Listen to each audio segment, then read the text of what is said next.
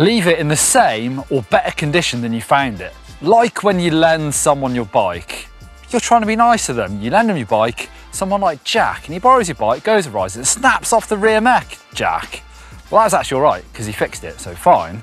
It was worse actually when he borrowed my bike, brought it back to me dirty. So now I'm the guy who's got to clean it and get it ready for the next ride. Not cool, Jack. Same goes for trails. Uh, there's never an excuse to leave your crap, leave your litter at trails, so don't do that. Also, I'm not saying don't shred, I'm saying do shred, but the more you shred, the more you got to dig, so make sure you don't leave trails wrecked. At some point, maybe a few times a year, you've got to put your time in and fix those trails.